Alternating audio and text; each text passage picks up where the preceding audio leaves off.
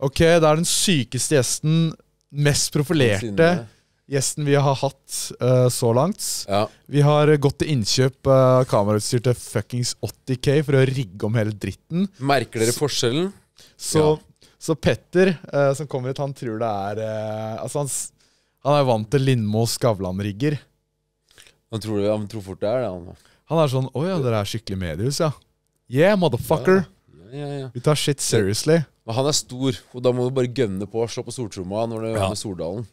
Men eh, jeg skjønner ikke hvordan vi skal klare å toppe det, egentlig, ja, med Stordalen. Det er jo Nei. noe av det drøyeste i Norge. Ja, Det kanskje dette her er the down Det her er Etter det her eh, gikk det bare downwards. Ja. Nei, men vi sitter jo på Somro, som er hans splitter nye luksushotell her i Oslo. Eh, det er liksom Det er jo her eh, Norges dyreste leiligheter går. Jeg tror det gikk en Jølle snakka om at det gikk en for noen måneder siden for 200-300 mill. eller noe, var det ikke det? To- 260 000 kvadrat. 260 60 000. 000, å, ja, 260 000 per kvadrat. Ja. Og det høyeste kvadratmeterprisen i Norge, så det er et, et dyrt Det er luksus. Jeg tror han har i snitt brukt 10 millioner kroner per hotellrom på å innrede og sånn. Han har det? Ja, ja. Det er sånn helt latterlig høy investering. Det er det hotellet han har brukt mest penger på.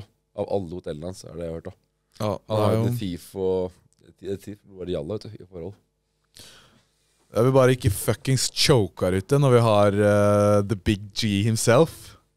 Jeg tror vi bare må Han er jo litt sånn eh, Er ikke han litt sånn nedpå? Jo, jeg tror han er jævlig glad i å prate, ass. Jeg Ja. tror han uh, tar mye vekt av oss. Men jeg vil uh, Nei, jeg tror Møkkete skjorte Brus på skjorta sånn. Helvete. Kom møkkete og med møkkete sko Jeg har jo egentlig ikke kledd meg. Du har jo kjøpt ny, helt ny dress. Ja. Så Det er derfor jeg, mange lurte på det, og det var derfor jeg skalla. Fordi vi spilte inn 'Jeg lever en dag i livet' som uh, Andrew Tate. Så derfor uh, Dere tok jo Den forrige videoen ble så ta bra tatt imot, så derfor kjørte vi inn til bare at jeg skalla meg. Men ja, vi har fått uh, kommet inn her på stedet, og det er faen meg nice her, ass. Nå Ja. sitter vi i biblioteket hans, og her er det liksom Han har Det er da Det, det er så eksperter gjennomtenkt. Ja, det er det. Det er så Det er så gjennomført. gjennomtenkt. Alt, og hver eneste detalj er tenkt på, og det er, liksom, det er det beste jeg tror du finner av Jeg tror vi må tenke på han der eh, interiørdesigneren til vårt kontor òg. Hvem var det fordi- han hadde brukt da? Det var noe, ja, jeg husker ikke. Vi fikk høre det. Du finner ikke en stabel med julebrus her. Nei. En tilfeldig stabel med julebrus i et hjørne. Fader, kanskje vi skulle hatt med julebrus til han, egentlig. Fordi han har jo penger, han kan kjøpe hva han vil som er tilgjengelig. Men han kan ikke kjøpe julebrus. For den får du ikke kjøpt lenger, vet. Så kanskje vi kunne tilbudt av noe Vi kan- han vil ha, som han ikke kan få. Vi kan høre om han joiner kontoret etterpå, da. På en omvisning. Ja. Eller jeg skal spørre om han skal ut i dag. Ja. Ja. Jeg tror han bare drar ut på mandager. Det er derfor han er så gira på mandag.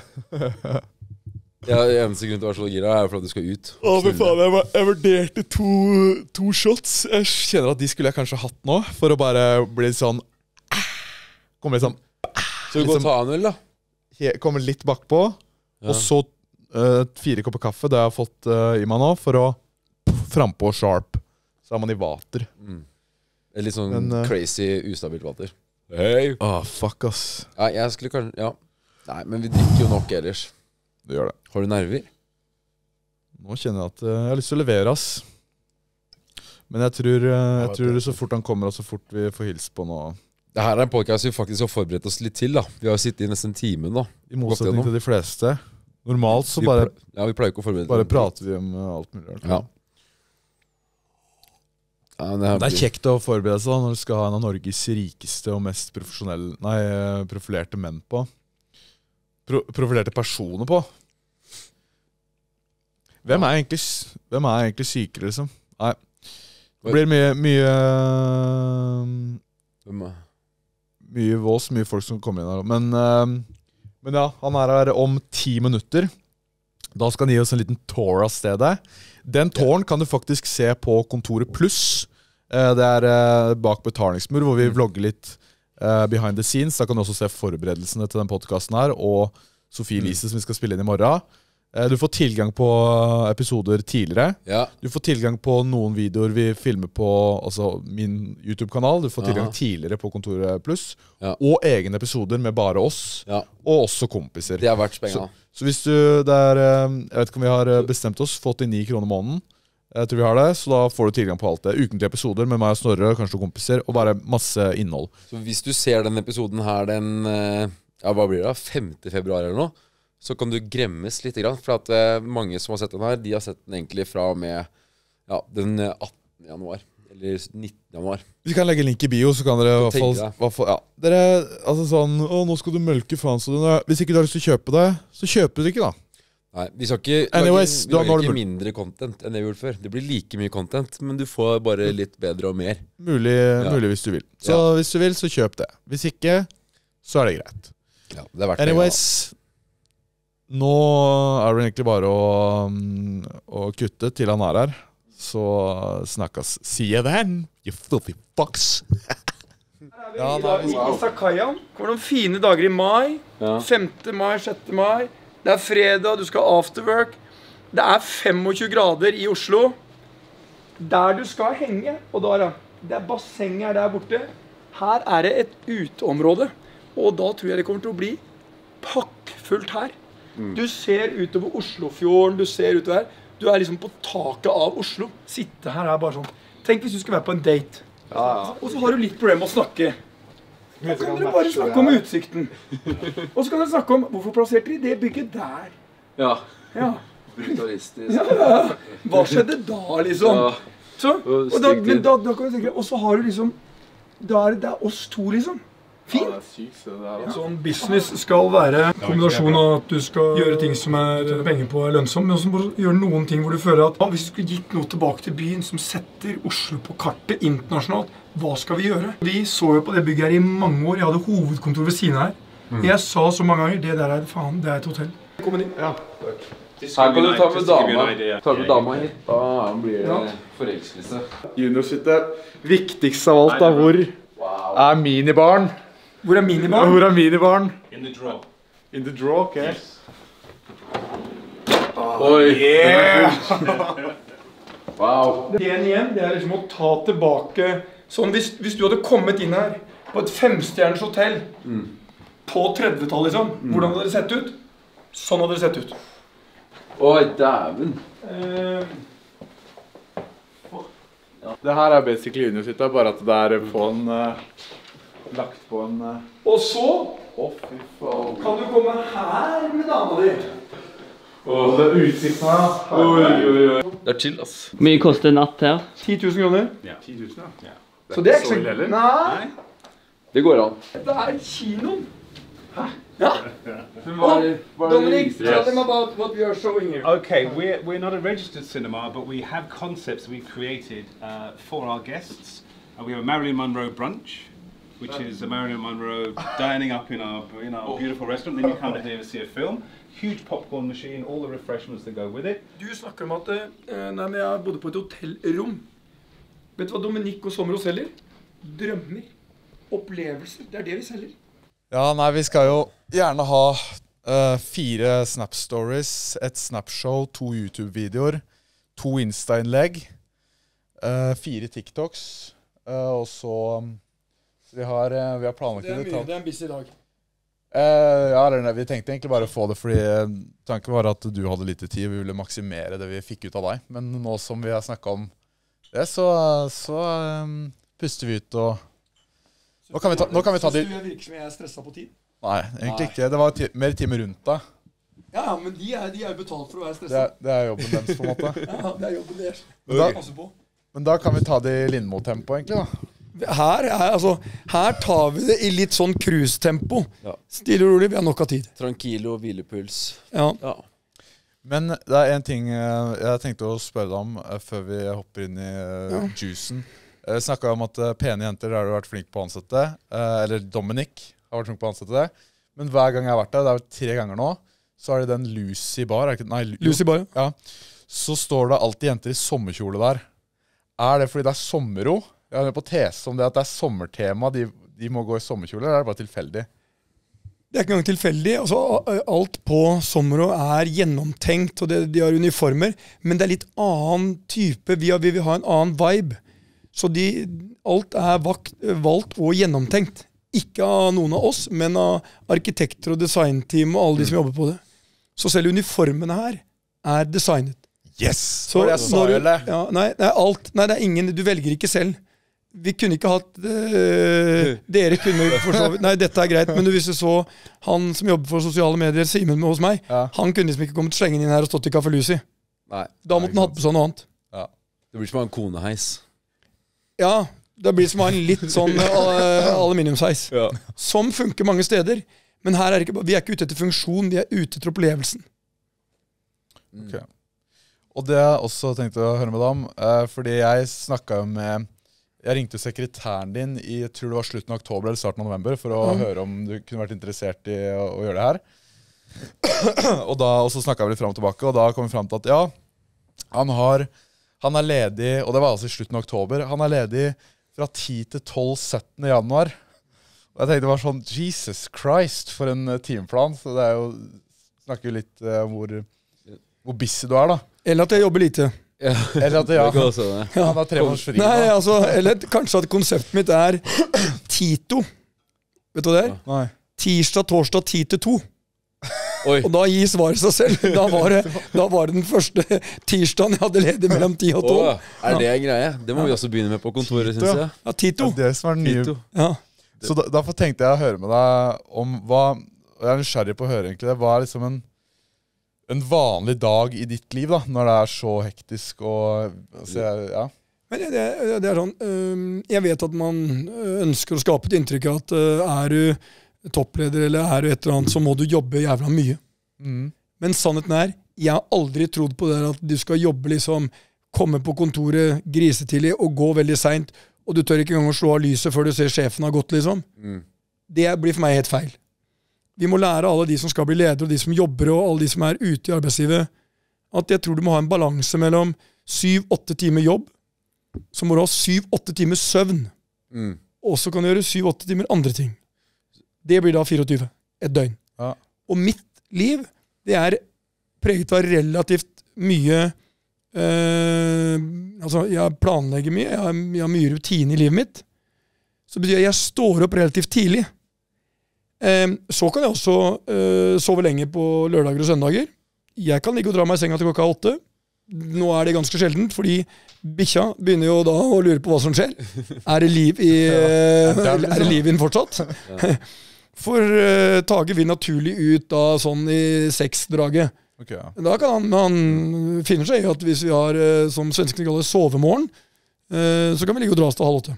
Det er selv om du har vært ute på lørdag, liksom. Ja, Men bikkja har jo ikke noe forhold til at jeg har vært Nei, ute på lørdag eller vært på VK. Altså, Når jeg har vært på fest nå som vi var i helga, Ja. og jeg kom hjem da relativt sent, altså jeg snakker godt etter midnatt, så er jo han like motivert for å gå ut klokken seks som han vanligvis er. Mm. Det er ikke sånn at jeg kan si til han Kan ikke du bare gå på toalettet nå, og så kommer du tilbake og legger deg i senga? Han må ut. Han må ha litt øh, fys, mosjon, og så må han få liksom For han, han er en hund. Og når jeg har hund, så må jeg respektere på en måte det livet han skal ha. Du kan jo bare time nachspielene til å være hjemme akkurat klokka seks. da Det er perfekt. Så jeg, og for øvrig når vi snakker om nachspiel, jeg mener at nachspiel det er, det er et overvurdert konsept. Okay. Altså, jeg mener at øh, hvis jeg skulle velge Nei, jeg tar hver dag i uka så tar jeg heller en lang, god lunsj ute, inne, hva som helst. Lang lunsj. Eller jeg tar også en lang middag og enn et uh, nachspiel. Altså, nachspiel Ja. mener jeg er litt antiklimaks. Ja. Ja, Det kan være kan være enig i det. god måte å liksom få samla siste ja men det er, uh, uten at vi skal ta opp det, det er når du har, alt annet har gått galt, så, så setter du håpet ditt til nachspiel. Ja, og da, det er jo ofte eh, når du oppsummerer dagen etterpå, ikke det smarteste trekket. Nei. Nei. det Så, så, så livet mitt består da så, så har jeg ganske sånn Jeg tar det ganske med ro om morgenen. Leser aviser, leser mailer, svarer litt, sjekker litt telefon og sånt noe. Og så lang, solid frokost. Mm. Her snakker vi eh, grovbrød, knekkebrød, blåbær, eh, sjokolade, kaffe, juice. Eh, liksom hele Det holder seg bang. Ehm, og kommer da til kontoret, klar for dagen. Det jeg ofte gjør da, hvis Torgeir Silseth, min sjef, er der, så tar jeg meg en kaffe, og så går jeg og setter meg foran han. Eh, og så prater vi om alt fra private ting til hotellselskap og alt mulig. Samme gjorde jeg i dag, før jeg møtte dere. Da satte jeg meg ned, da satt han med finansdirektøren vår, Trine Marsdal, og visekonsernsjef Bjørn Arild Wist. Og da hadde vi en fin samtale. Ikke alltid planlagt, ikke alltid en dagsorden. Og jeg liker det livet vi har i Choice. Det er ganske lave skuldre. Så det er ikke den stereotypiske gründermentaliteten med selvpining, søvnmangel og kalddusj som er liksom nøkkelen til suksess, da. Jeg tror ikke på det. Nei. Og jeg tror ikke på liksom myten om at uh, suksess er målt i antall uh, timer du øh, tilbringer på kontoret. Og det der, Jeg liker jo ikke sånne work hard, play hard-type ting. liksom. Du må gjerne jobbe mye, men du, skal, du må ha en balanse du uansett. For over tid så tror jeg du blir en mye dårligere leder hvis du sover lite. Ja. Altså hvis, hvis, la oss si, hvis du har sovet si. veldig lite over en lengre periode, så tror jeg du blir lettere irritert, tar dårligere beslutninger, og blir en dårligere leder, dårligere far, dårligere kjæreste. Mulig du er annerledes, men da er det bare unntak som bekrefter en regel som jeg er ganske trygg på. Mm. Jeg kan kjenne litt igjen det med mye, mye jobb og sånn, for jeg kom nylig ut av et forhold, så flytta jeg hjem på kontoret. Så jeg Ja. bodde der nå i tre måneder.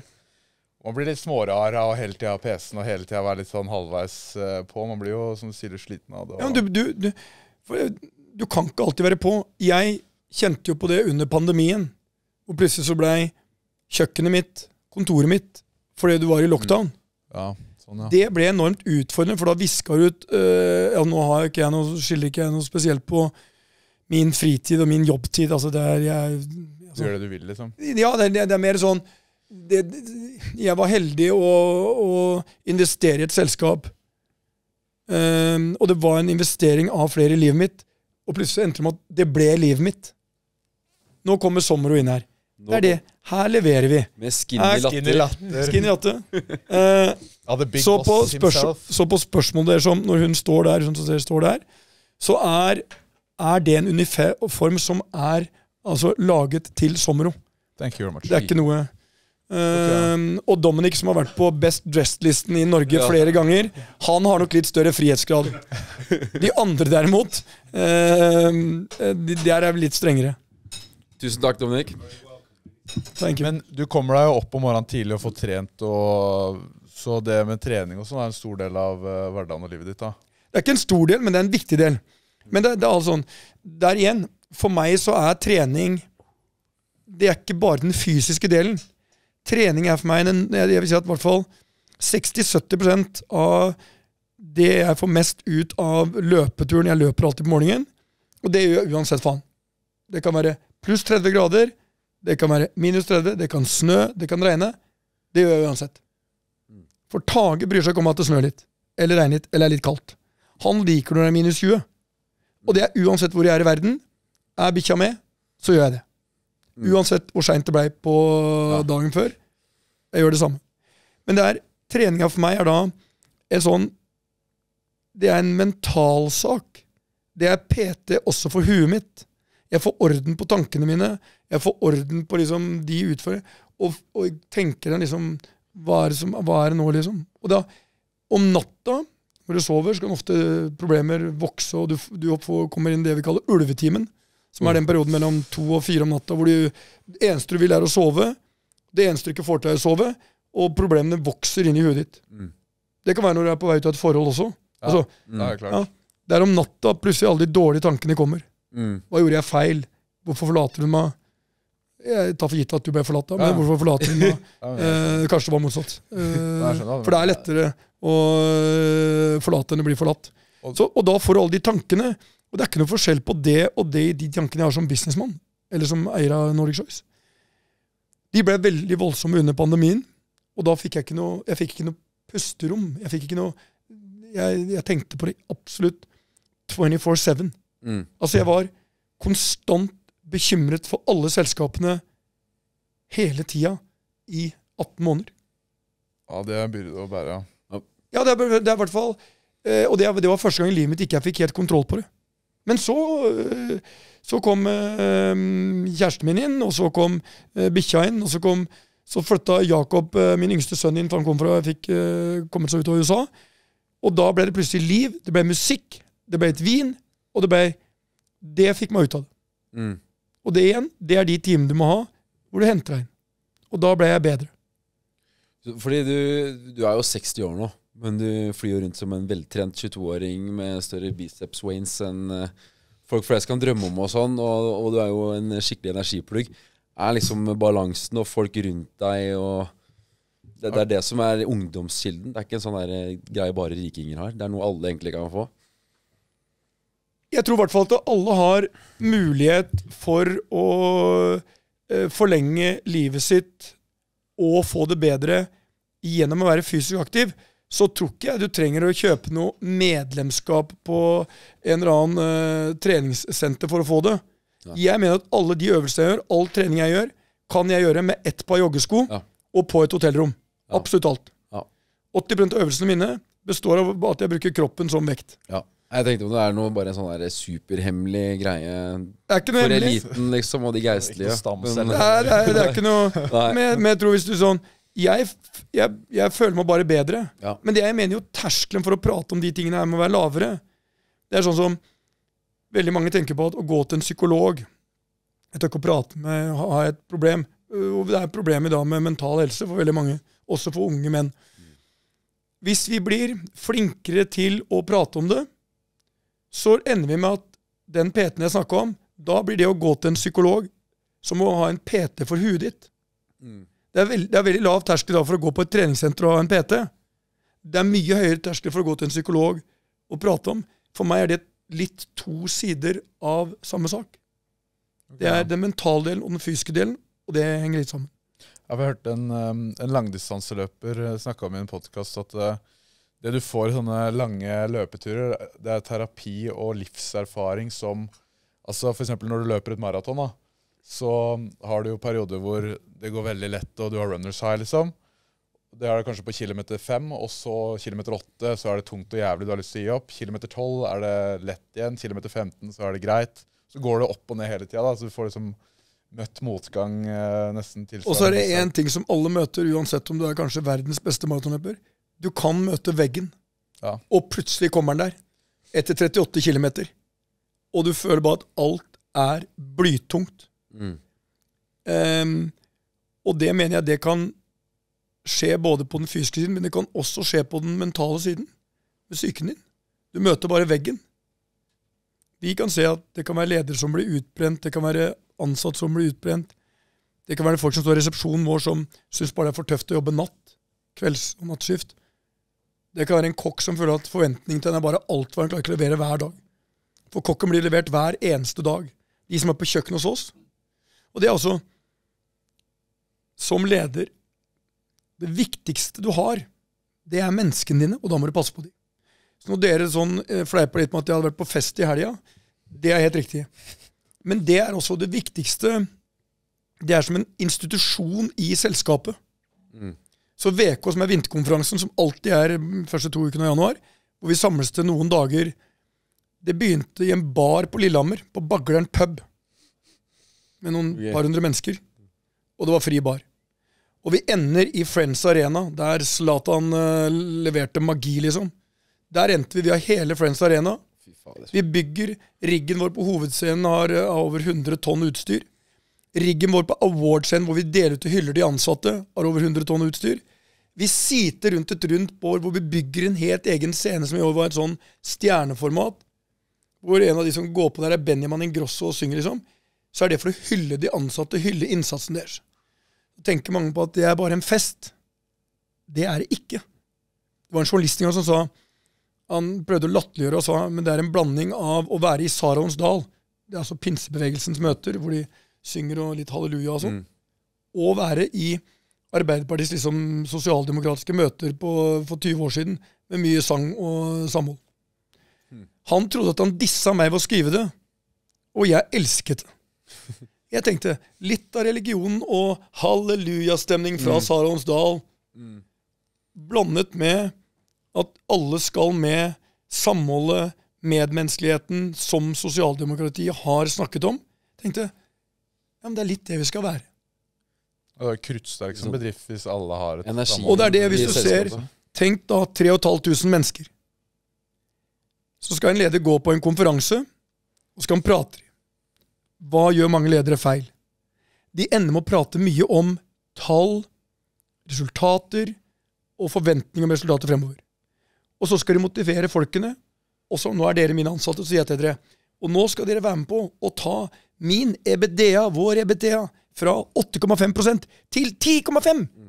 Det er ikke sånn at dere reiser timen, liksom. ja, Dere reiser opp, kjenner dere får gåsehud og skriker ut 'Dette her skal jeg være med på'. Altså Hvis det er én ting jeg skal være med på, så er det, så er det å ta Hva var det for noe? Var det 8,5? Ja, det ble jeg med på. Nei. Dere sitter og fikler med mobilen deres og blir helt uinteressert. Men hvis du prater til dem om mennesker, forteller historier fra selskapet, alt på ekte, live Når jeg gikk på scenen, så hadde jeg en del av et symfoniorkester på den ene siden av scenen. Så hadde jeg Espen Lind med et band på den andre siden. Og så, og så går jeg live med alt, med musikk, med sang. Og midt i talen så velger jeg å kjøre karaoke for 3500 mennesker live. Og denne med at 3500 mennesker reiser seg opp. Og når OA hele natten kommer fra Sverige, så hører jeg liksom det er, det, er være, det er som å være på Vålerenga og høre klanen drar til med Vålerenga kjerke. Å, fy fader. Jeg får gåsehud. Bare av du prater om det. Og når dansken synger 'Natteravn', så synger 3500 mennesker med. For de har jo teksten, og de er med. Det Da berører mennesker. Og da prater du mennesker om det som betyr noe for dem. Og så deler vi ut priser. Det, eh, og derfor har vi en kultur som er unik. Og jeg har sagt det var ikke pengene som var den største liksom, som vi var mest redd for gjennom pandemien. Det var å miste kulturen vår. Og nå har vi tatt det tilbake. Fader, det sign me up, da. Inviter meg neste gang. Det høres jo helt eh, Dere hadde fantastisk- passa perfekt inn der. Ja, vi hadde glidd rett inn. Er det ikke et helt sjukt kick når du står foran 3500 folk på scenen der også? For din del, liksom. Nei, du er sjukt nervøs. Er du sjukt nervøs? Ja, Det er jo nesten på Sambrus land før du går på. Ja, du har, du har, og så har du Jan Fredrik Karlsen som står og peprer, liksom. Ja.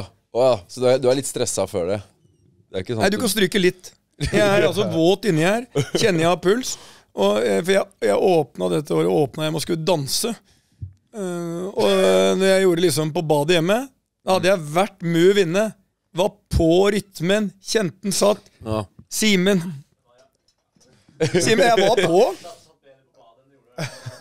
Ja, og det er det, det, er- det poenget jeg kommer til nå. Altså, der, Har du sett sånn teater i gamle dager hvor du har en sånn, du har en sånn boks? Så hvis du sier noe feil, så skulle han komme og korrigere deg. Eller hvis du glemte replikkene. ja, ja. Plutselig kom Simen, da. Eikers nye store superstjerne. Inn fra sida her. Den kreative rådgiveren din. Ja, her er alle filmkamera satt opp, og så får du en sånn sidekicker. Det er første gang jeg har fått. Det er modig, da. Det er ballsy. Ja, men, men jeg må spørre deg, så du, du har ikke PT eller noe sånt nå? Du, Nei. ba, du bare knyter på deg listen, og så er det det, liksom? Jeg trenger ikke noe PT for til mine. Nei, det skjønner jeg, men, men jeg har, jeg har Skal jeg ha en sånn- PT da, som jogger liksom Her er bikkja, her er Tage, her er jeg. Skal jeg ha en som løper ved siden av hverandre og sier 'Dette er bra, Petter. Kom igjen nå. Løp litt er fortere'. Så ja, Orker jeg det maset om morgenen, liksom? Nei. Jeg skal ha roen. Jeg vil gå når jeg går, jeg vil løpe når jeg løper. Jeg vil løpe så fort som jeg ønsker. Okay, ja. Da har jeg ikke noe behov for en. Og så, når jeg, når jeg, så jeg, Nei, jeg har aldri eh, Jeg har brukt PT noen få ganger. Jeg har brukt PT nå litt på At Six i Stockholm. Det er mer for å Jeg må begynne å trene noen andre muskler og sånt nå. Jeg, jeg, altså, skadene kommer hyppigere, Ja, og jeg må drive med litt Og da må jeg ha litt råd hvordan jeg skal fikse det. Ja, for jeg er kanskje en litt syk fascinasjon for å sette ting i systemer, og liksom, men jeg har tenkt på det hvis jeg noen gang blir ordentlig um, altså, Ordentlig gammel. er ordentlig rik da, og kan finansiere det opplegget, så, så har jeg lyst til å ha en PT, en ernæringsfysiolog, en kokk, en psykolog og en lege. Alle snakker sammen. Alle vet ok, hvordan presterer han, Hvordan... Jeg må rydde opp i det tullet her. Hør nå, dette er bare tullball. Uh, for det første oss Jeg er i hvert fall så rik at jeg kunne hatt hele Du kan det der fotballaget. Ja. Men det er jo fullstendig bortkasta. Ja, er det det? Psykologen holder deg skarp. Kokken snakker med ernæringsfysiologen, som sier ok, Petter presterer best ut ifra når han spiser sånn og sånn og sånn, så du må lage det. PT-en ser at ok, ja, men det Uh, Altså, de tar liksom resultatbasert og alt sammen. Og så det være noen som bærer deg på jobb. Og... Legen sjekker kvaliteten på svømmerne før helga. Så alt er liksom lagt i systemt. Syns ikke det hadde nå, vært jeg må eh, bare redde opp i det tullet du kom med. Okay. Hør nå, For det første. Vanlig norsk frokost gir deg alt det du trenger. Hvis du bare spiser litt vanlig grovbrød du drikker, liksom, Det er jo enkelt. Og så har du hørt om eh, fem om dagen. Da vet du jeg må ha kanskje litt frukt og grønt og litt sånt noe. Og så kan du spise vanlig norsk husmannskost. Er ikke verre enn det. Du tar du den sushien, da, så er det fine. Du får i akkurat det du trenger.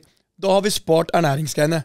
PT-en din Nei, du trenger ikke en som sitter og prater til deg at det beste er å trene litt, sånn at jeg får litt kondisjon. Det er bra. Det, er, det kan du lese om. Du kan google det, og du får 500 råd. Så kommer vi til psykologen. Det er det eneste jeg faktisk har respekt for av de du nevner, som kan være nødvendig noen ganger når det er utfordringer i huet ditt, for de er vanskeligere å løse. Så det blir en PT for huet. Noen ganger. Det andre det er bare tull. At de også skal snakke sammen. Hva, hva, skal du holde på med? Skal du noen som administrerer alle de som skal snakke sammen nå, da? Det er i ti hver ha? tirsdag. Ja, Men når skal du være aleine? Når skal Ja. du liksom Ja, nei, jeg, jeg ser for meg at jeg hadde hatt, et møte med de hver mandag, da, for eksempel, eller noe sånt, og så på en måte ja, men Skal de fly rundt deg i huset ditt, da? Ja, de må jo ta noen prøver her og der, da. Ja, nei, Det er et godt spørsmål. Jeg har ikke tenkt praktisk Ja, men altså, Skal du ha den gjengen rundt deg, da? Så du handler mat på butikken sjæl og sånn? Nei. Nei. Nei, ok. Ja, Men, eh, men eh, Märtha handler med deg sånn. Det er jo Handling for meg er ikke noe problem. Nei. Jeg vet hva jeg skal ha som. Ja, det er kaviar og ost og egg og rekesalat og salami og Altså, jeg har Jeg kjører på det samme. Så har jeg litt uh, musli og litt sånt noe. Litt uh, yoghurt og melk og juice og blåbær og uh, mørk sjokolade. Det, det, hele det er enkelt. Nå, nå sitter sikkert alle som ser på og noterer seg, de som er, har sånn skikkelig Okay, Det er, bare, det er bare å sende meg en melding, så skal jeg eh, gi dere hele eh, oppskriften.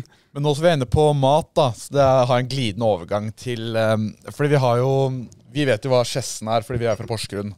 Og hva er Skjessen Fysen, ikke sant? Ja, ja, du bør altså, Men, de, men det, Her er- er sitter er mange fra Porsgrunn og skal forklare meg hva Skjessen er. Ja, eh, men, det er mange, konseptet. men det er mange der hjemme som ikke visste hva det var før vi Ja. begynte en matanmeldingsserie, en nettserie da, som vi har gående nå. Så nå um, har takket være Jørgen og meg, som også er fra Porsgrunn, da, 500 000 månedlige veit hva Skjessen er nå. Det er, det er liksom større enn Fysen blitt, nesten. Um, og så har jeg tenkt, fordi vi har Vi har jo ca. 150 000 som ser hver episode, og det er, det er vel 200 episoder ute nå. Slipper to i uka. Uh, og fått, vi har bygd opp mye tyngde innafor matanmeldings... Og mange lurer på hva mener jeg om forskjellige restauranter og sånn. Um, så nå bredt og tungt, da. Og så har vi vurdert hvordan vi skal kapitalisere på det her. Eh, så jeg har lyst til å spørre deg liksom, en business case, da. For du er jo investor også, og en av de beste i landet på det. Så Derfor er det veldig interessant å høre ditt, din tanke om hvordan å gå videre med det. da. Vi har vært hos Askeland og Co. og vurdert restaurant. Kan det være en vei å gå? Eller frossenpizza? Eller hva, hva tror du hadde vært lurt å liksom gå videre med hvis man skal bygge det større? Nei, det er jo stor, det er en stor forskjell på å drive med anmeldelser og kapitalisere på det, og begynne å produsere frossenpizza eller lage sin egen burger. Kontorets burger, liksom. Mm. Eh, det er to forskjellige ting. Så først må dere bestemme dere for hva er dere vil. Er, er målet å bli eh, matanmelder som kapitaliserer på det?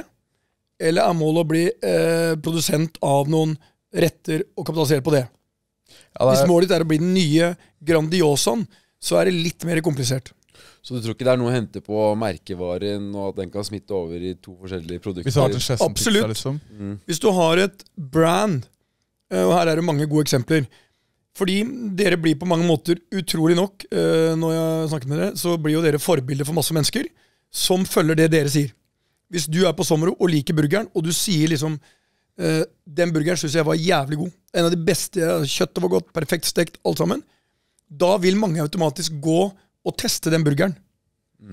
Eh, for at ikke man skal fornærme noen i Norge, så kan vi ta et godt eksempel i Sverige. Der har en del store influensere. Veldig mange mennesker, når influenserne kom, latterliggjorde influenserne. De syntes det var sånn Herregud. Så skrev jeg i det var min første eller andre bok så skrev jeg om at eh, man skal ha stor respekt for mennesker som får en millioninntekt, som påvirker hundretusener av kjøpere, og som er i ferd med å ryste grunnvollene i de største mediehusene i Norge. Dere gjør en enorm kardinalfeil ved å undervurdere den gruppen. Så fast forward spoling, så kom Bianca Ingrosso, en influenser i Sverige. Først bygger hun opp brandet sitt, Bianca Ingrosso. Så kan vi godt ha en diskusjon med hvordan hun gjør det, men that's a fact. Så lanserer hun forskjellige ting. Sminker, klær. Altså, selskapet, jeg tror det ene selskapet hennes ble verdsatt nesten en milliard. Og hvem investerer i det? Jo, jo, det er de tyngste investorene i Sverige. Så hun etablerer merkevaren Bianca Ingrosso får nok følgere til at de som stoler på hennes råd, de, de vil Det er igjen tilbake. Det er drømmen om Jeg vil bli litt som henne. Jeg vil være litt som henne. Og da vil de kjøpe de eh, produktene og kjøpe den kåpa. Vi har et eh, merke som heter The Product. Eh, og der har vi testet det å bruke noen som bruker de produktene, og det har vært en kjempesuksess. Det er i liten målestokk, men det samme. Eh, så jeg tror at eh, hvis dere etablerer da et brand som handler om å anmelde, som, får, som blir kredibelt innenfor de som ser på det hos dere, så kan du selvfølgelig bruke det brandet og sette det på noen produkter som tilfredsstiller de kravene dere stiller. Men så er neste greien, så må dere få distribusjon av det. Sånn, så det er, en del, er utfordringer. Er liksom Men du ville gått produktveien, ikke, ikke restaurantveien. Eller det er, det er produkter du ser for deg. Fordi det er det vi ser for oss også, at vi må lage et produkt som Ja, jeg liker pizzaen med med det og det fyllet, eller som i ost. Eller, så på en måte etter de standardene jeg liker, da, og ja, som jeg liksom har sagt eh, i x antall videoer, at jeg vil ha det sånn, så lager man endelig det sjøl. Og så Ja, og da, det enkle er da Hvis du hadde hatt da, La oss si at kontoret var stor på matanmeldelser, og, folk, så finner du ut at eh, Jeg kan ta min favorittpizza, da, som er eh, en, en med sik. Jeg trodde aldri jeg skulle like pizza med sik. Altså fisken sik. Sånn, eh, Ja. Som er på teater og pizza. Det er min absolutt favorittpizza. Alle jeg har prøvd. La oss si at dere hadde kommet med en sånn variant. Dette er min favoritt. Ja. Men så, så er det en lang vei å gå fra at de, dere alle vet hvem din favorittpizza er, men så skal du da produsere den i stort antall og distribuere den. mm. Så du, du, skal du må ut til eh, Kooperasjonen eller eh, Norgesgruppen eller Rema eller Dere må få distribuert det. For det er vanskelig å tjene penger på at du designer en pizza for Teatro som er kontorets favorite. Kan få Ja. litt penger av det. Det som derimot er stort, er sånn at dere kan ha annonser på Nå vet jeg ikke hvordan dette funker hos dere, men dere kan selge annonser, og det, er- der er jo et kjempemarked for, for inntekter. ja, samarbeidspartner og sånn, liksom. Ja. Og der er det, det er et kjempemarked. Ja. Ja, for det er det vi har uh, brukt eh, mest nå. Så det er hvis vi tenkte å måtte utvide merkevaren selv, da, liksom om vi skal lage noe mer eller eh, gjøre noe sånt noe. Men eh, det er kanskje Men det er bare, bedre hvis dere uh, har et stort antall følgere, mm. og dere får Altså, bli jævla god på det dere er gode på. Mm. De fleste er gode på én ting, og så skal de begynne å gjøre mange andre ting. Ja. Det er veldig få Bianca Ingrosso. Det var mitt neste poeng. Ja. Det er enormt mange som drømmer om det. Det er veldig få som lykkes med det. Mm. Hun er suksess, suksessrik. Hun har program og greier. Og så er ikke det, det å være rik, det er, eh, det er eh, Jeg tror det er overvurdert. Altså, økonomisk uavhengig er fantastisk, men etter det, liksom, Mm. så er det Du må ha det bra med deg sjæl, du må ha et bra liv, du må ha bra venner, du må ha bra familie. Altså. Men uh, hvis ikke du hadde vært en eh, multimilliardær i skinnbukser, men du hadde vært en, eh, en, en ung 20 år gammel person nå da, i dagens samfunn som skal liksom opp og frem i livet og ønsker karriere og sånn, altså, hva, hva hadde du gjort da?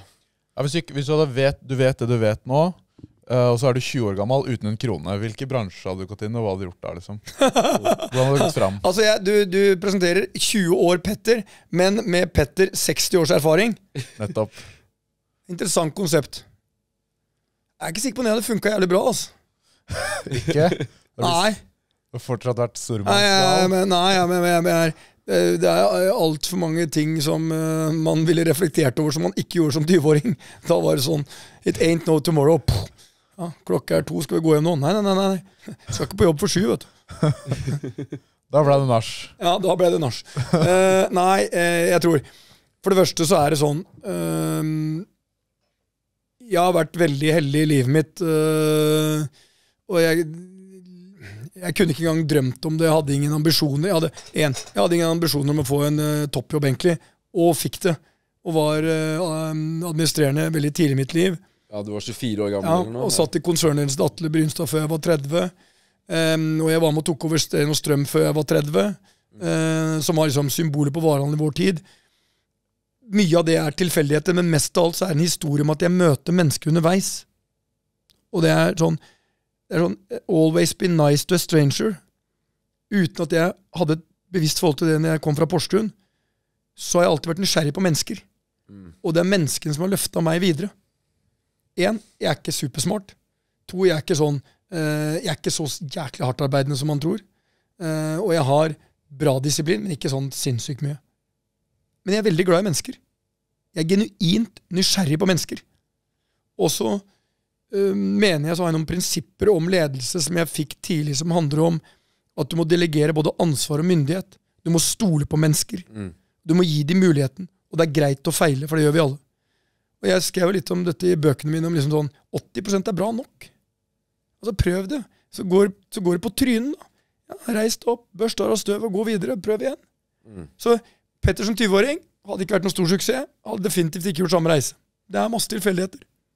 Og noen trier sånn Jeg tror ikke på det at du kan bestemme deg for at du skal det ene eller andre. Jeg, det var litt tilfeldig. Det var litt tilfeldig at jeg blei rik.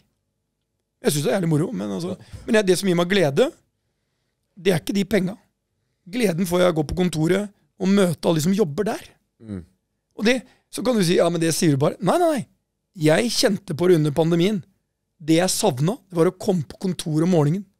Jeg savna normalitet. Jeg savna kollegaene.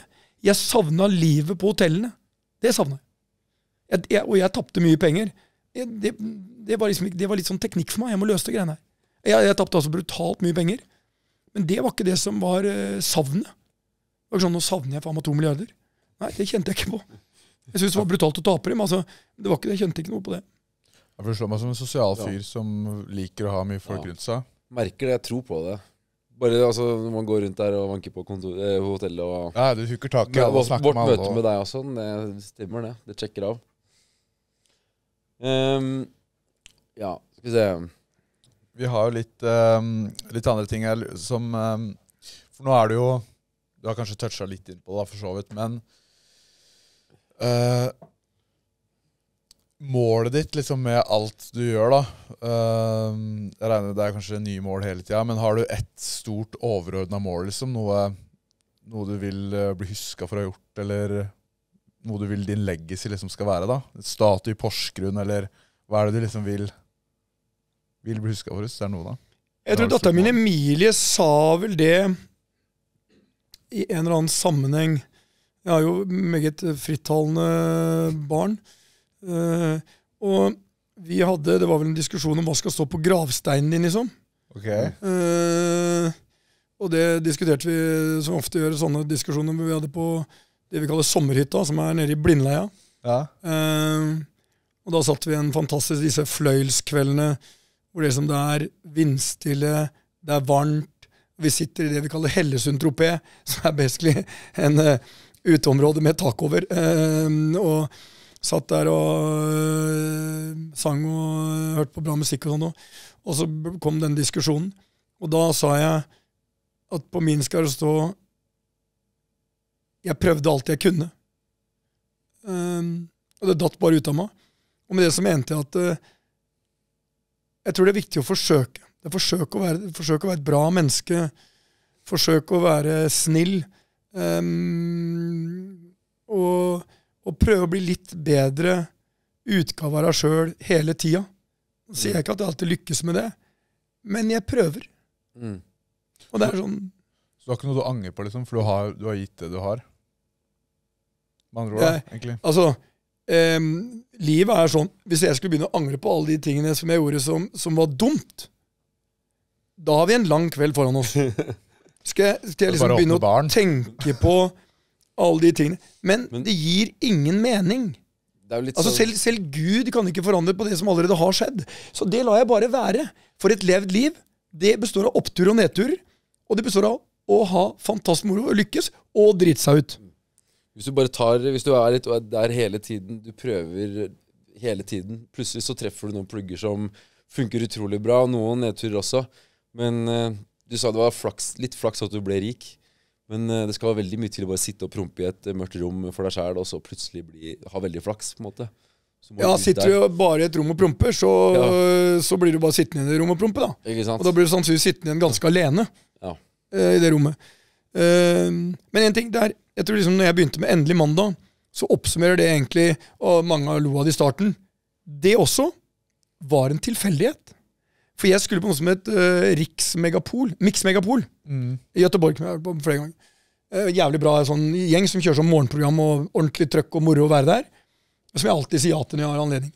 Um, og så sitter jeg og hører på det. Og de snakker bare om Altså, jeg hørte på når jeg løp om morgenen og sånt nå, var i Göteborg noen dager, og det var sånn Ja, nå er det endelig lille lørdagen, liksom, som vi hadde i Porsgrunn også. Onsdag. Ja. Torsdag, i morgen er det fredag. Endelig en fredag. De begynte også på mandag, som de syntes var en jævlig dag. Tirsdag begynte de å snakke om nå begynner det å nærme seg. Onsdag. Og så hele uka bygde opp til fredagen. Så sitter jeg der, og så kommer jeg der, og så er det en fredag, og sier de ja, men Petter, nå er det endelig en fredag. Så jeg men jeg synes liksom Jeg elsker mandager, jeg. Og det ble et, øh, en veldig morsom greie. Og de sa hæ? Hvem, øh, hvem elsker mandager? Det er jo ingen som gjør. Altså, Så var det en diskusjon om var tirsdagen enda verre enn mandagen. Uh, men jeg sa jeg elsker mandager, og det er sånn Nei, da har jeg nye muligheter, en hel uke foran meg. Jeg kan gjøre nye ting. Bør ikke tenke på det som jeg gjorde i forrige uke. Nå er jeg ferdig med det. Nå går jeg opp. Så eh, det er sånn. Ja, du mista dama di. Jeg har blitt skilt. Det betyr ikke at vi to slutter å tro på kjærligheten. Du prøvde en date som ditchara. Du går på igjen. Du mister ikke tro på kjærligheten. Og det er jo livet i et sånn lite, lite format. You win or you learn.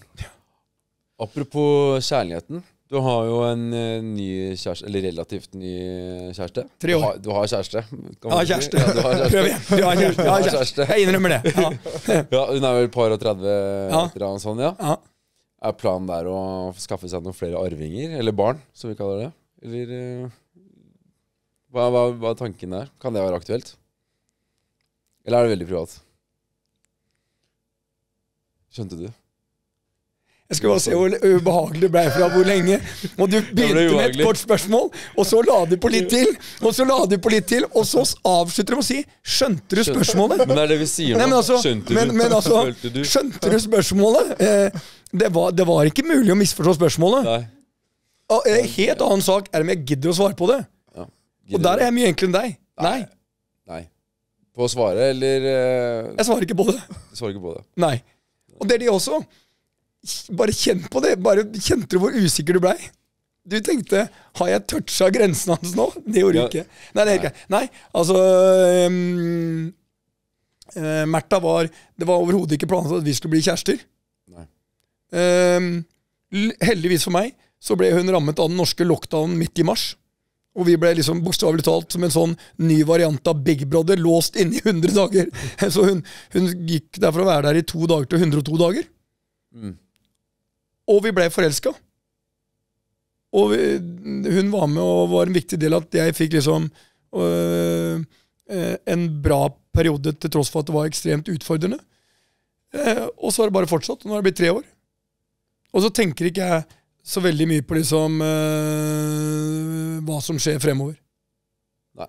Du lever veldig nuet. Ja, Men jeg kan jo gjøre altså jeg er ikke jeg, jeg kan jo gjøre matematikken som du var innom. altså 32, 60, fremskriv liksom befolknings... Liksom, hvordan, hvor, hvor, hvor lenge lever en som er 32 år, født i Sverige og levd et sunt liv?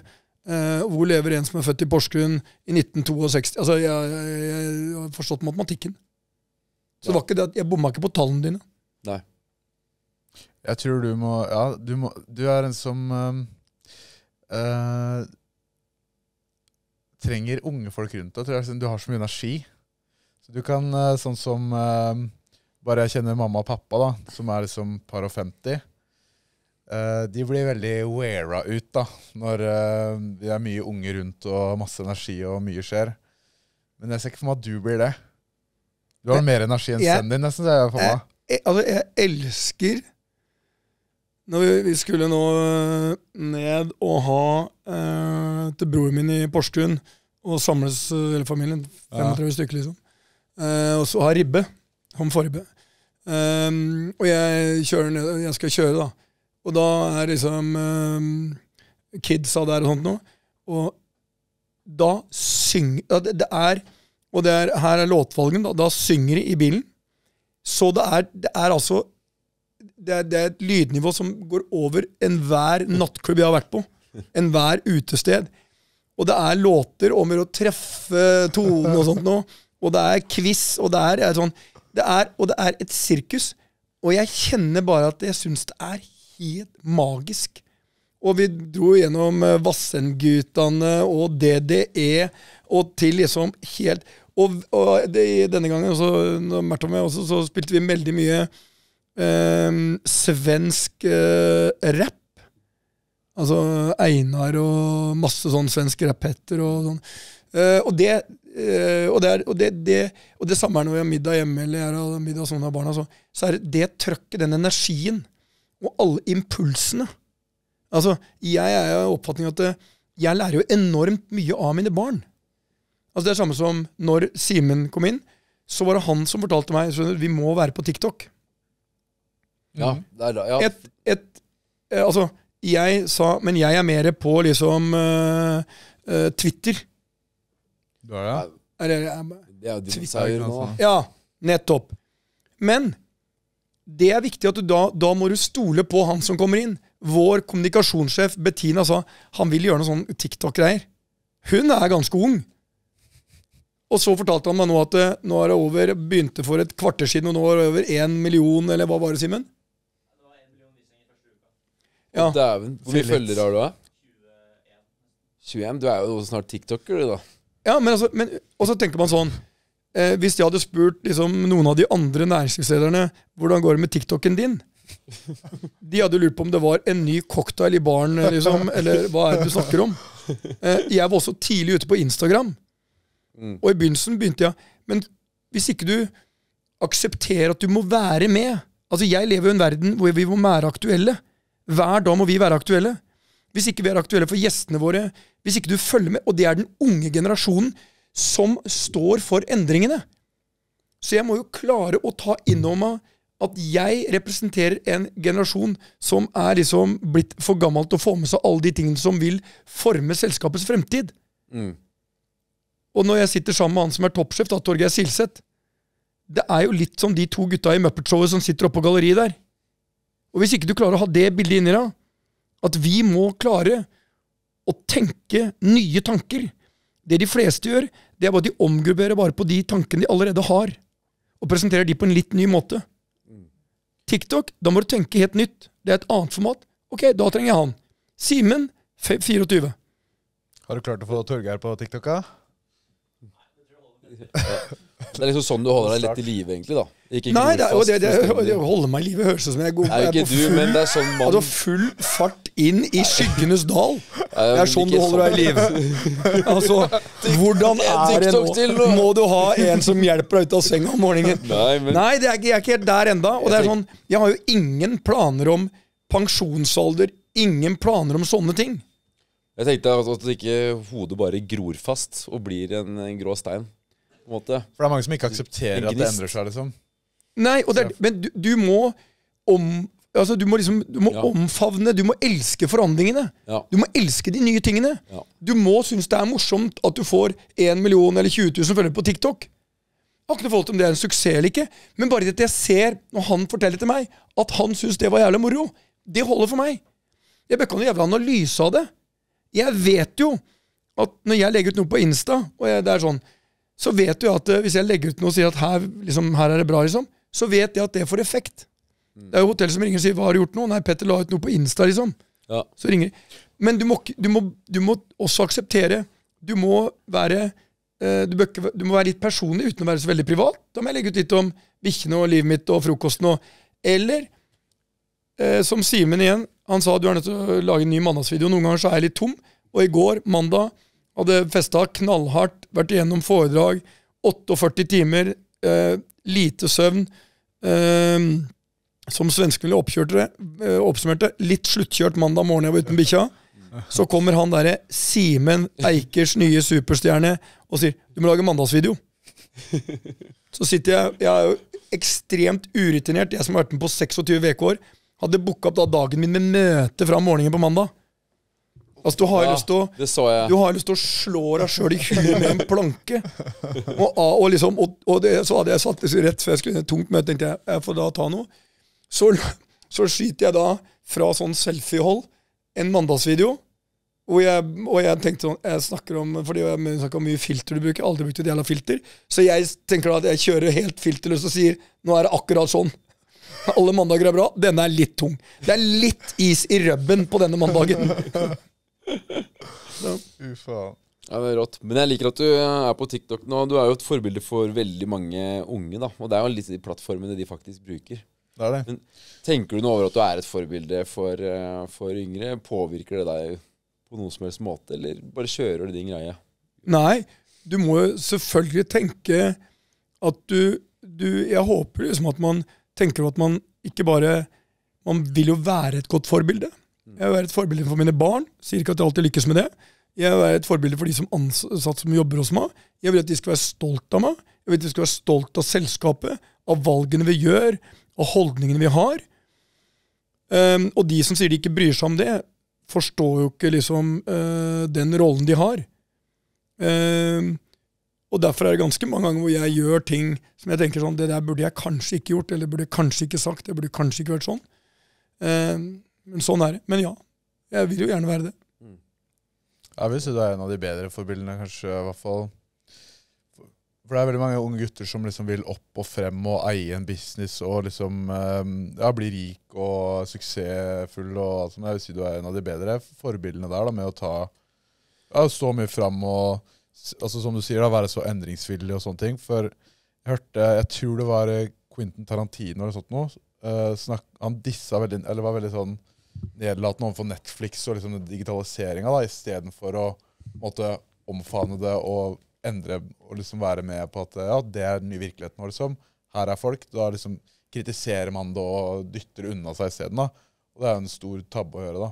Så liksom å være Men det er lett å sitte som eh, kapitalist og investor og næringslivsleder og disse Sofie Elise, og så, du, og så investerer du i Schibsted og har liksom ikke skjønt hva som skjer.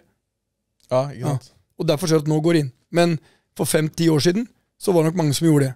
Det er mange som ville ledd av dere, av noen tiktokere, liksom. Ja, ja. Men mange av de som ler av dere, har tatt øh, høyere utdannelse, har gått fem år på Handelshøyskolen og alt mulig.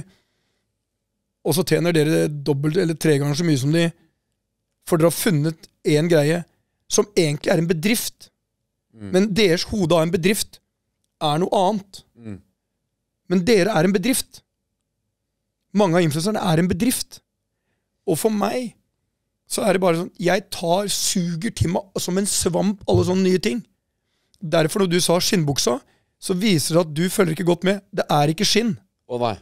Hva, Men den er jævlig fet. den er jævlig fet. Det er hvis, du jeg, ja, hvis du spør om jeg bryr meg om klær, ja. Men jeg har alltid gjort det, fra jeg var i Porsgrunn. Problemet er at da mm, hadde jeg så drita dårlig råd at jeg måtte, ha, liksom, jeg måtte lage og kjøre litt billigvarianter. Alltid vært å elske skinnjakker. Jeg kjøpte min første skinnjakke. Husker det fortsatt. eh, innen jeg var i Porsgrunn hadde jobba en hel sommer. Brukte 5000 kroner på skinnjakke den gangen. Fikk den fra USA. Skulle vært sånn original sånn derre eh, pilotjakke. Én. Tror den var nok laget i Kina. To. Øh, totalt feilprisa. Men følte meg jo grisefet når jeg 18 år skulle på liksom Hollywood, som diskoen het, liksom. Det er disko, Hollywood, sånn øh, I den skinnjakka. Det var noe som Er ikke varmt? tenkte jeg. Det var varmt som faen. Skinnjakka er på inne. Er, så, øh, og, jeg, jeg, og jeg innrømmer, hvis du husker det er gærent, om jeg er forfengelig 100% Ja, For hvordan er det Eller hvor, hvor eller hvordan er det du skaffer deg klær, egentlig? Har du noen som gjør det for deg, eller? Ja, men dette greiene her, den T-skjorta her, Ja. Det er jo med et varemerke jeg må eier, som heter The Product. Ja. Vi utvikla det jeg mener er beste kjøp av T-skjorte i Norge. Vi lager T-skjorter, underbukser og en del sånne ting, som er basic-produkter. Fordi den har superkvalitet, behagelig å ha på, og så er den til en jævlig bra pris i butikk. 400-500 kroner. Eller 500-600. 400-500. Så vet jeg at du kan kjøpe T-skjorter til et par tusen kroner. De gir deg ikke noe mer, og de er ikke engang like behagelige å ha på. Jeg vet, for jeg har testa ut alt. ja, det tror jeg på. Så det er sånn living the brand. Den derimot, det er litt mer komplisert å lage. Ja, Men hvis det ikke er skinn, hva pokker er det der, da? Det er jeans som er behandla på en spesiell måte. Hvis du kjenner på det er det, ja. jeans. det er jeans. Så Så de er litt diggere å ha på? Jeg må kjenne altså. Det er jo øh, men, men, Og jeg er jo, jeg handler jo på nettet eller sånn. Jeg går igjennom og ser på ting. Før kjøpte jeg jo sånne motemagasin og blader og sånt noe. Har en veldig litt sånn øh, Har en betydelig feminin side. Det er litt viktig å være i touch med sine feminine sider.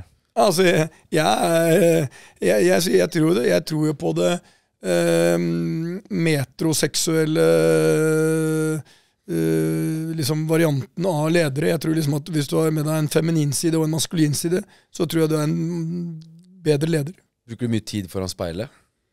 Eh, jeg, ja, det vil jeg. Altså i forhold til gjennomsnittet. Ja, I og med at jeg står og alt som skjer på morgenen, det skjer jo foran et speil. For det er pusser jeg tenna, vasker meg, dusjer, står der. Så der har jeg jo speil. Det er ikke så stort. Jeg, vet, jeg, jeg går ikke på jobb. Simen seg eh, for han. Står opp om morgenen, seg liksom klærne, og så går han. Jeg dusjer jo og fikser meg og tenker på hva jeg skal ha på meg. Det, det er ikke det bruker lang tid på det. Men jeg, jeg, sånn som i dag, skulle jeg møte dere, så kjente jeg på i dag passa den buksa. Det, det er litt interessant det du sa om at uh, influensere er egentlig på en måte enkeltstående businesser. Mm. Fordi det er litt sånn veldig vi um, Det begynte jo i 2020 med at jeg bare la ut mye TikToks. Og det, da hadde jeg faktisk lest den boka di om 80 er bra nok. Ja. Uh, og var veldig den mentaliteten at jeg bare pøser ut, så får det enten briste eller bære. Og hvis det er dårlige videoer, så presterer de ikke bra uansett. Hvis det er gode videoer, så presterer de bra. Og så bare fortsetter jeg ned den gata som er av bra videoer, da. Eh, og så gikk jo det bra på TikTok. Eh, og så har Jørgen og jeg alltid vært litt sånn at vi har åpna nettsider og prøvd litt forskjellige eh, Prøvd å starte forskjellige bedrifter og sånn. Eh, men så, så så vi at det med sosiale medier var det som måte ga best resultat. da. Så da, da så vi på det litt som at Litt som en business. da, ok, Hvis vi kan levere kvalitetsinnhold på hver og en plattform, podkast, TikTok, Snapchat, YouTube, ja, Twitter, LinkedIn altså bare overalt, og bare bygge systemer rundt det, og så ta på samarbeidspartner, og annonsesamarbeid og alt sammen, så bare bygge det nesten et lite mediehus, da. Vi er vel ikke helt hus Hvor mye omsetter dere for i 22? 6,2, tror jeg. Så Hvor mange ansatte er dere? hvor mange er vi nå? Vi er, det er vel fra 10 til 100% og vi er vel 10? Ja. Klippere. Man klippere som jobber liksom Ja. Ja, det er greit. Så dere basically har tre fulltids årsverk, da, eller tre og et halvt? Fire? Ja. Takk. Ehm, det betyr hvor det, er- det er veldig få som klarer å starte en bedrift som i løpet av så kort tid omsetter så mye. Det betyr at dere klarer å sitte igjen med et overskudd, hvis dere er gjennomsnittlig gode, på to millioner før dere tar ut lønn. Da får dere ut en lønn hver på én million. Hvor gammel er du? 24, ja. Hvor mange 24-åringer var utdannet, sa du? Uh, null. Jeg droppa ut etter ja, seks Etter? måneder. Seks måneder så. På Jeg gikk økonomi på Høgskolen Kristiania. Hvor mange av de som fullførte økonomi på Høgskolen Kristiania, tjener én million? Mest sannsynlig er jeg ikke ferdig med utdannelsen ennå. Uh, det er et godt spørsmål, ja. Og hvis du gjør da matematikken, og dere to fortsetter, og vokser, og bedriften vokser, så vil de som har tatt hele den utdannelsen, og jeg mener utdannelse er jævlig viktig, men bare De vil aldri ta dere igjen. Dere vil bli rike. Ja, Dere er for så vidt ganske rike allerede. Dere vil bli rike. Og dere vil bli litt rikere hvis dere er smart, smarte hvert år. Det betyr dere kan faktisk være godt økonomisk uavhengig. Og du kan ha hele fotballaget av eh, ernæringsfysiologer, psykologer og PT-er og whatnot og kokk og alt mulig eh, eh, før du er 30. Så, hvis, men, men det de fleste gjør, det at du begynner å tro på din egen hype. Du slutter å utvikle deg. Du glemmer å være ydmyk i forhold til hva dere har skapt. Dere blir litt, litt sånn Cocky og Ja, litt lite og- grann. Blir litt konge på byen. Det blir noen champagnetog som ikke skulle vært der. For jeg, jeg er konge på byen, men jeg lar meg ikke Det, det skal um, Vi tar ikke ut mye lønn, så det var to millioner etter vi Eller eh, jo, etter vi har tatt ut lønn. Fordi vi tar ikke ut mye, og jeg, som jeg sa da, jeg bor på kontoret for å unngå 8000 i leie i måneden. Så hvis jeg skulle kjøpt den bedriften deres, så hadde jeg sagt dere tjener Ja. millioner i året etter dere har tatt ut lønn. Dere tar ut samme lønn de neste syv årene. Dere er bundet av en kontrakt med meg til å jobbe i minst syv år. Um, og så lar jeg dere beholde litt av aksjene. Da hadde jeg verdsatt det eh, selskapet til 15 millioner. Over syv år. Jeg sa bare dere må jobbe i syv år. Ok, ja. Men da hadde Ja, men det, vi, skal, vi skal vokse mer enn Nei, det. men bare vent nå. vent nå. Okay. Her sitter en uh, kapitalist som Ja, ja. nettopp har sagt til dere to at dere har blitt mangemillionærer. Ja. Sju nå der. Ja, men, Det, eh, hadde jeg ikke, det tror jeg ikke jeg hadde solgt for. Altså. Ne Nei. men nettopp. Da må dere behandle selskapet på samme måten. Og det gjør vi nå, føler jeg, da. Ja. Ehm, og så må dere, være, så må dere ha liksom respekt for hvor få som klarer å få et selskap som plutselig er verdt 15 millioner. For målet må være at det skal doble seg hvert tredje år for dere. målet okay, hvor- hvorfor det? Vi skal doble det i år, vi. Og Ja, det, vi for- Nei, men det, det, det, det er bra. Det er enda bedre. vi får til det. Vi ligger i rute, vi. Men da skal jeg si en annen interessant ting Ja, som kommer til å overraske dere. Okay. Warren Buffett, som driver Berkshire Hathaway, kanskje en av verdens aller rikeste. Hvor stor andel av hans formue skapte han etter han fylte 50? Ja, det har jeg faktisk sett. Det er 95% eller noe sånt nå. Det nå overrasker du veldig. Jeg leste eh, mye sånn, eh, Ja, sånn jævlig imponerende. Det er i hvert fall over 90 skapte han etter han fylte 50. Og, da sånn, og det er, jeg tror det er sånn eh, fortsatt nesten over eh, 90 etter han fylte 60. Eller i hvert fall over 70 eller 80-90% Det er sånn. Så følgende. Det andre er interessant. Han er vel 90 år nå, tenker jeg. Han leder fortsatt et av verdens største investeringsselskaper, Berkshire Hathaway. Mm.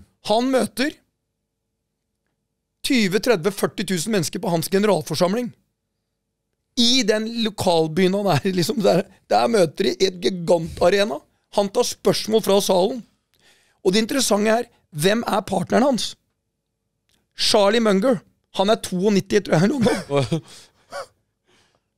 Og nå ler dere. Gir seg For dere ikke, tenker, dere, nå tenker dere sånn Faen, jeg trodde livet var over etter jeg var 40, så, og så ble det 50, og så møtte jeg Petter 60. Ok, du kan være liksom Blodet går fortsatt rundt i kroppen, og det er livet, liksom. Du kan sparke fra deg til er 70, liksom. Som jeg sa når jeg sto på scenen på VK. Jeg er 60. Jeg tror jeg har 26 gode år til i meg, liksom. Jeg har i hvert fall 20.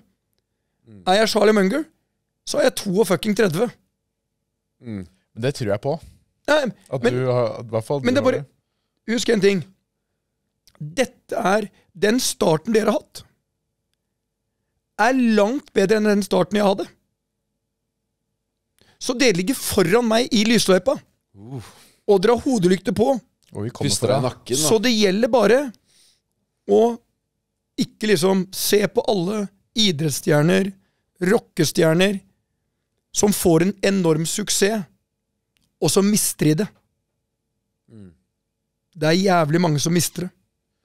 For oss er det kanskje å holde seg relevant og tenke Ja. smart hele veien. Fader illand.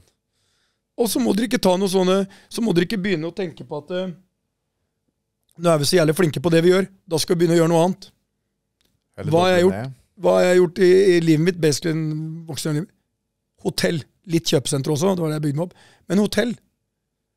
Og det er mange som sier 'hvorfor går det ikke inn i det'? Hvorfor går det ikke? Nei, det er hotell jeg liker, det er hotell jeg kan. Og så har vi gjort liksom Ving, som er eh, Norges største reisearrangør og Nordens største reisearrangør. Og så har jeg investert i Hurtigruta, og så er jeg med på Stureplansgruppen. Men det er innenfor liksom litt samme område. Mm. Og jeg er ikke noe investor sitter og vurderer kanskje jeg skal gå inn i farmasi. liksom. Kanskje, Nei. Nei. det er dette jeg kan. Så vi ville dobla ned bare på innhold, da, som vi på en måte fort, eller eh, er vår på en måte, hovedgreie. Altså Hvis jeg skulle gitt dere ett råd Det er sånn Dere er jævlig gode der dere er nå. Og hvis det kan vokse fremover, så har dere truffet noe som veldig få treffer i livet sitt. Eh, Coca-Cola De har stort sett drevet med én ting gjennom livet. Det er eh, Coca-Cola. Og så har de alle mulige andre leskedrikker, eller så, eh, varianter av det. Men, og det har blitt et ganske stort selskap. Mm. Og spør du meg, jeg, er heller en, jeg eier heller en bitte liten en mikrodel av Coca-Cola enn 100 av Jolly Cola. Så hvis dere er best Jeg vet ikke om dere vet hva Jolly Cola er. Ja, nei, jeg Ja. ikke det. Men det er sånn han mener. Ja, Jolly Cola er dansk cola, eh, som ikke er like bra som Coca-Cola, for å si det enkelt. Okay. Men det er billigere. Ikke Så hvis, Gabriel, hvis dere er blant de alle Jeg må så inn i skranskauen pisse. Du er 24 år. Har du Jeg sjekka jeg blæra di? blære. Ja, men Har du sjekka det? Nei, jeg har ikke det. Da må du sjekke prostataen din. Det er jo altfor tidlig. Tror du det? Ja, det ville jeg absolutt gjort. Jeg tisser, jeg tisser seriøst. Ja, men da må seriøst, du må jo øh, sjekke den. Jeg ser du sitter og Men jeg ville egentlig høre med deg Hvis vi klarer å doble omsetninga vår, kan vi få en ny podkast med deg oppe i baren? Kan vi sile en deal på det? Det er jo verdens minste problem. Gå og tiss nå, du. Kan jeg få en handshake på det? Businessman-handshake? Ja, ja. At vi skal ha en Yes. yes. podkast fra barn. Ja, hvis, eh, hvis vi dobler omsetninga, da. Ja, ikke noe problem. Gå nå, du, før du, du, du. Er det flere som må tisse? Nei. ja, jeg, Vi Må du òg? nei, jeg klarer å holde meg. Du gjør det? Ja. Ja, Hadde begge gått, så hadde jeg faen meg blitt, blitt bekymra for de greiene der. altså. Det er to ting unge mennesker gjør som ville forbløffet min far. Én ting er dette koster da 100 kroner. Har du én boks om dagen, så har du brukt 36 000 kroner på snus. Og det kunne du investert, da. Hvis du hadde investert i stedet, så hadde du fått 10 avkastning. Og det dobla seg hvert sjuende år. Er det ikke sånn? Plutselig Jo, men så skal du regne med at det, Hvor ofte tar du en, mm, kjøper en kaffe og kjøper en bagett og litt sånt på vei til kontoret? Ja, tre ganger i uka, kanskje. Tre ganger i uka? Nå, Ja. nå må jeg på Baker Hansen og ha en uh, Ja. kaffe. Og da bruker du 100-150 for å ta med en bagett og litt sånn. Ja, det blir fort det. Det er i hvert fall 25 000 i året. Og hva er dette? Dette er etter skattpenger. Snus og Bakker Hansen, eller hvem det var, 50 000 kroner etter skatt. Fy fader. Tenk hva du kunne gjort for da, før skatt, så må du da tjene 75 000. Eller vet du, er litt avhengig av hvor mye lønn du tar ut. Men det er ganske mye penger. Det er det. Okay. At jeg bruker det, er bare dumt for helsa. Men det Det er, det er, mer, enn- det er mer enn godt nok argument. Ja, vi vi fant heldigvis et smutthull i systemet der, da, for vi har kalt det Skjessen. Så bare utgiftsfører vi det. At vi på restauranter. Så spiser vi på restauranter fem dager i uka og bare ja, har gjort det fra en utgift til en inntekt. Det er sånn magisk, magisk selskap. Vi bare setter alt på selskapet, Ja. og så er det content. Så er det en del av produksjonen. Blir det inntekt? Um, Ok. ok, Skal vi ta oss og rappe opp med de der eh, kjappe spørsmålene våre? Ja, seerne hadde Altså, vi har aldri fått så mye spørsmål som når jeg la ut Altså, normalt på Snap-story da, så får jeg mellom 50 og 120 000 som ser en story. Så la jeg ut et bilde av deg, og får vi noen spørsmål til han her vi skal ha han på i morgen. Da var det 235 000 som så storyen. Og jeg tror jeg fikk 450 spørsmål. Det var bare på Snapchat. Så, um, så det, var, det var mildt sagt jævlig mange volum. som eh, ja, hadde mye å spørre om. Ok, Og mange av de her er jo da fra seerne våre. Det er ikke vi som nødvendigvis Ikke spør unnskyld da, nå har vi vært gjennom dette tidligere. Vi representerer Altså, jeg, jeg- jeg, jeg- skylder jeg- på dem. ja, men men, du også- det er, det er, sånn, våre spørsmål. ja, ok, jeg er 60. Jeg bør, bør ikke ha forklart ting tre ganger og klippet ut i papp. Jeg har tatt poenget. De har sendt inn spørsmål. Du skal nå lese de. Du bør ikke nødvendigvis stå for de tingene her. Greit. Kjør nå spørsmålene. Um, ja. Hvor mange privatfly har du? Ett eller et halvt. Så du deler, da? Timeshare, liksom? Det er en variant av timeshare. Ja. Hvor mye penger har du på brukskonto akkurat nå? Det vet jeg ikke. Jeg tar ut til hver tid det, det pengene jeg har behov for for å øh, finansiere livet mitt. Ok. Eh, har du tatt fillers, eller er du naturlig hunk? Hvis du skjønte det spørsmålet, da. Jeg har, eh, når det gjelder eh, eh, mm, rumpeimplantat, eh, biceps injections og eh, titsa Foreløpig så har det gått bra, men jeg har no shame in the game om det skulle falle til helvete. Nei da. Nei, jeg, jeg tror på, jeg tror på da den husmannskosten og trening. Ja. Så, eh, men jeg, jeg er veldig glad for spørsmålet. Ja, ja men det er bra. Da fikk du skrytt litt. Ja. av selv. Hvem er den rikeste du har nummeret til? På kontaktlista di? Hvem er den rikeste jeg har nummeret til på kontaktlista mi? Jeg har et par svensker som er ganske Som har ganske Som har det ganske bra. Uh, nei, jeg har, det er, det, er, det er, jeg har nok flere, mer enn én. Ok. sånn styggrike, rett og slett. Ja, hva definerer du som styggerik? Er det milliardklassen, da er det ganske Ja, da er jeg flere. Massevis. Ok. um, ja, ok. Er det, er det sant at du ønsker å destabilisere monarkiet i Norden? Og ta over som første folkevalgte president i en helt ny union? Nei, jeg, Ja, det er sant. Nei, jeg, nei, men jeg har to ganger lansert ideen om eh, Tenk hva Norden ville vært hvis vi hadde vært liksom én union.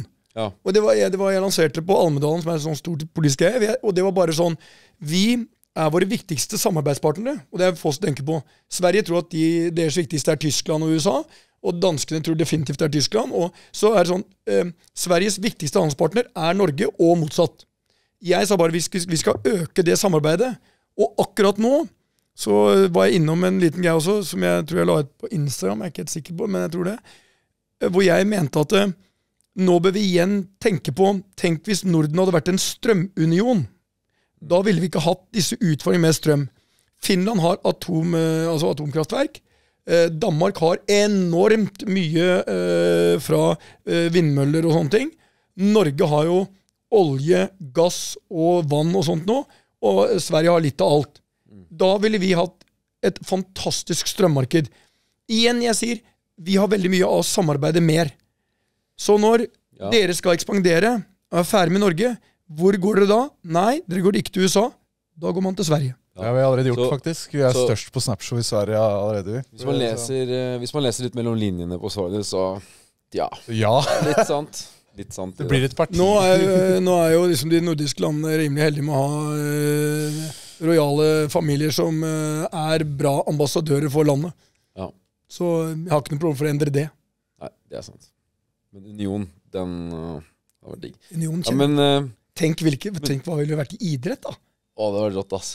Altså, Fy fader. vinter-OL. Ja, det hadde vært, ja. Altså, hadde jo bare vært, det hadde bare vært de 25 første plassene. Det hadde ikke vært noen vits, da. Nei, andre, nei, nei, nei, det hadde ikke vært nordisk. Ja. Nei, men uh, med det så tror jeg vi er gjennom uh, lista av våre spørsmål, i hvert fall. Ja. Tusen takk igjen for at du stilte opp. Det var dritrått å få deg med.